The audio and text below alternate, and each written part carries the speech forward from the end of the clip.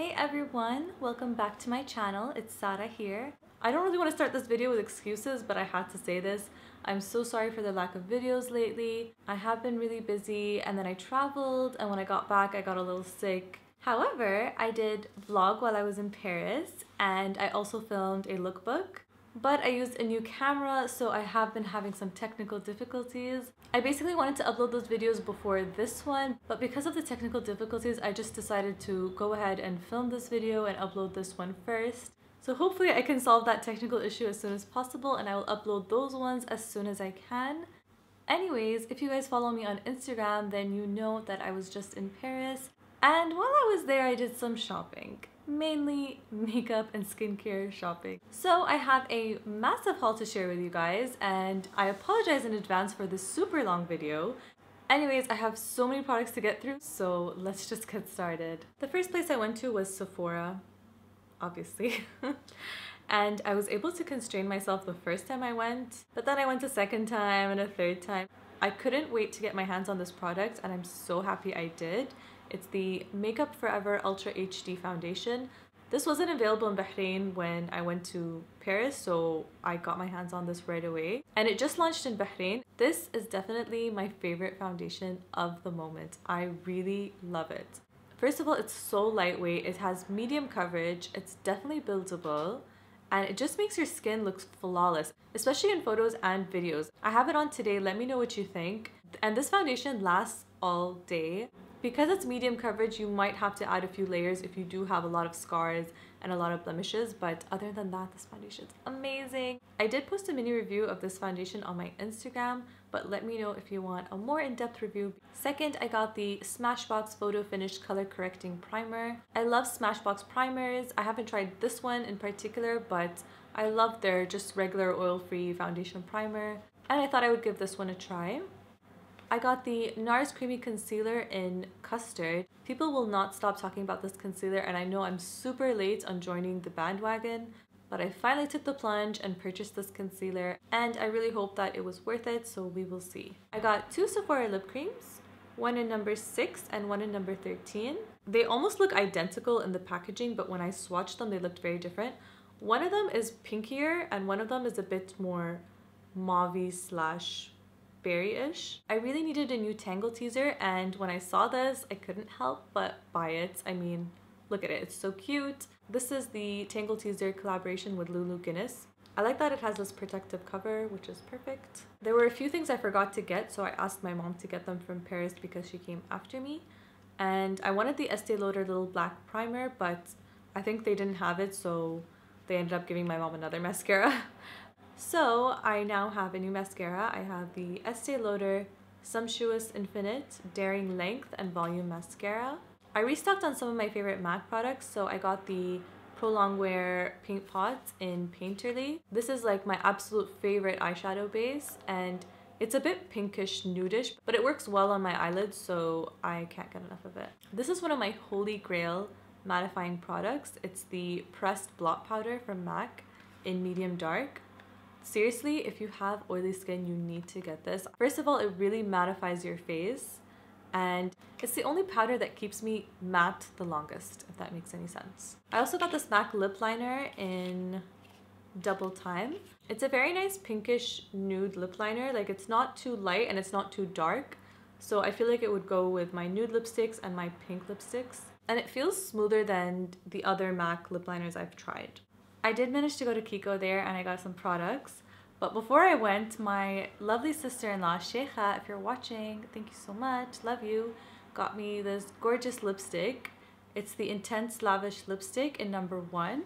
This has been my go-to lipstick lately. It's such a beautiful neutral pink. It's perfect for every day. It's perfect for work.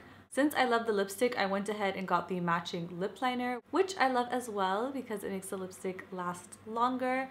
This is the lip liner in number one. As you can tell, it matches the lipstick perfectly.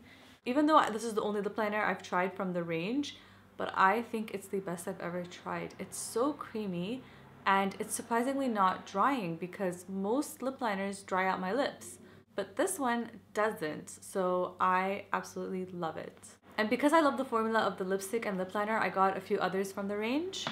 I got number two, number three, number four, and six. I noticed that the colors are very similar. Number two is just slightly darker than number one, so it's a bit more on the mauve side. Number three is a red. I think it's gonna be that perfect Hollywood red color. Number four is a pinkish berry shade. I'm not really sure how to describe this color, but it looks beautiful. Lastly, number six is this gorgeous burgundy shade. I think this is gonna be a great shade for fall and for those gorgeous Bambi lips. And I got four of the matching lip liners. There is one missing lip liner, which is probably because it was sold out. This is a lip liner number three, and it's just that perfect scarlet red, which is gonna match the lipstick perfectly. Here's number four, and it's just a beautiful neutral mauve pink. And lastly, here's number six, which is a beautiful deep plum shade. I got two correctors, a green one and an orange one, which are the correctors I use the most. I use the orange one for my dark circles and the green one for any redness I have on my face. So far, I'm very impressed by this. These are really good correctors. The green one is a number four and the orangey one is a number seven. I got these two eyeliners from the Dark Tide range. One is in black and one is in Magnificent Burgundy. So far, I've only tried Magnificent Burgundy on my waterline and I really liked it. It's very creamy and it lasted quite a long time. It's a perfect dark eggplant shade. I also got the Everlasting Kajal in number one, which is just a black eyeliner. This product is really interesting. It's called a Moon Shadow. It is a water-infused eyeshadow. I got it in number one in Glamour Gold. It's basically a cream shadow, but I don't know how to describe it. It does feel a bit wet when you apply it on your skin. It has sort of a cold, wet feeling, which is so bizarre, but I guess that's what makes it a water-infused eyeshadow. You do have to layer it up to really get an intense color, I would say it's kind of a champagne sort of light color. It's not like a yellow gold, it's more of a really light champagne gold. But nonetheless, it seems very interesting. I also got these two pencil lip glosses, which is kind of odd. I'd never heard of a pencil lip gloss before, but I really like them and I love these shades. I got them in number 10 and 12. 10 is a really great nude and number 12 is a really nice mauve shade. I already tried number 12 and I loved how it looked and I can't wait to try the other one as well. The last lip product from Kiko is the Luscious Cream Lipstick in number 513. I love this packaging as well and that's how you open it. Okay, I think all my lipsticks are in this color.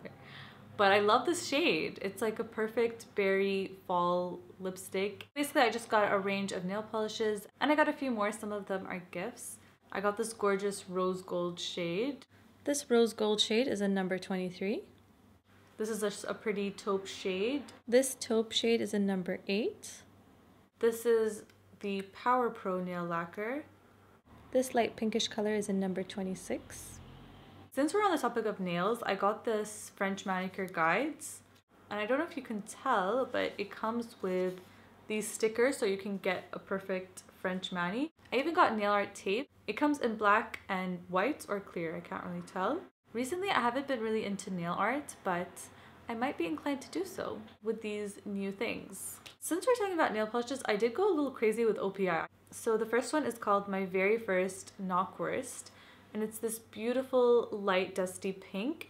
It's the nail polish I have on right now. I'm obsessed with this color. And funny enough, I'm really into neutral nail polishes right now, so these are the kind of shades I'm drawn to because they're very nice and neutral. The next shade, which is quite similar, it's called Tickle My France-y. Basically looks like it's from the same palette, but it's just a little darker. So naturally, I had to get this shade as well. The next five shades I have are from the Venice collection, and this is a nice neutral shade. Surprise, surprise. It's called Tiramisu for Two, and it's just a beautiful nude beige shade. I mean, you can never go wrong with this nail polish color.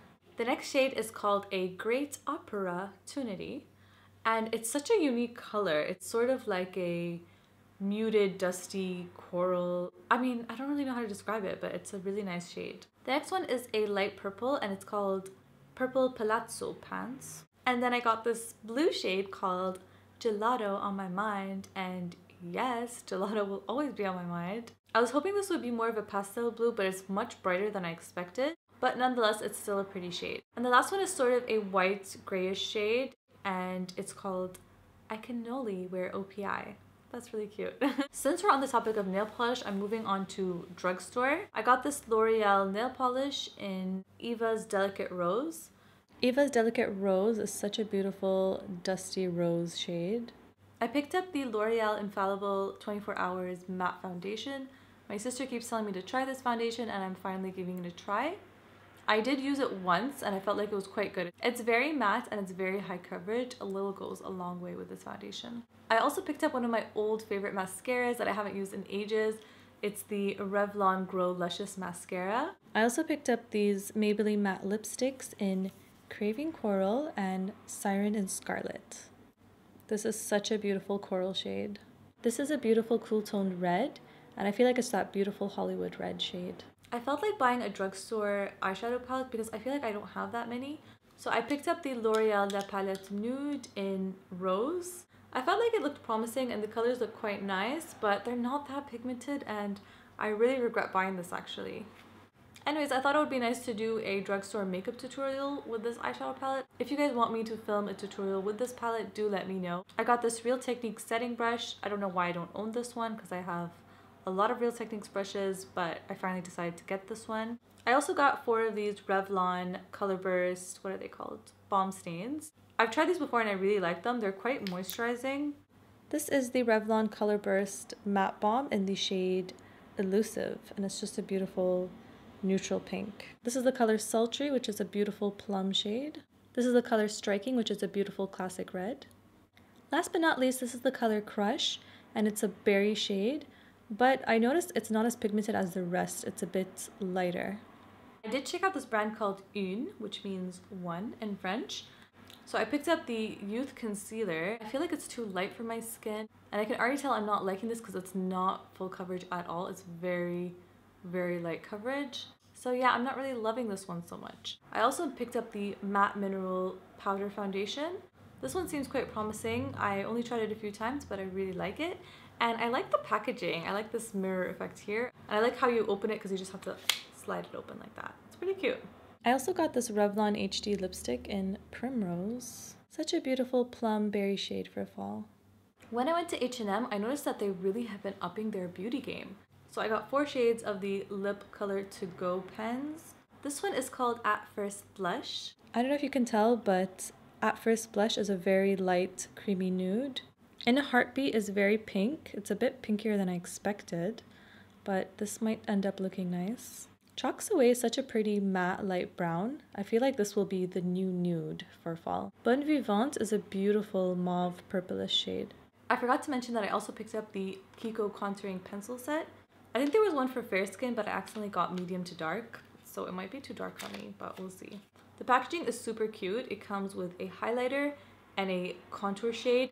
It's a matte brown, but I feel like it has a bit of a sheen to it. Maybe because it's sort of a creamy product. I haven't tried these yet, but we will see how they turn out. I did visit Sabon, which is one of my favorite places to go to in Paris. They have amazing scrubs, shower oils, and you name it. I managed to constrain myself and I didn't buy too many things. I only got three products from there, surprisingly enough. I got the Delicate Jasmine Body Scrub, and I love their scrubs. This one smells so good and I really want to smell it right now. But this is sealed shut. Okay, this is refusing to open, but I'm sure you can tell that it smells so good.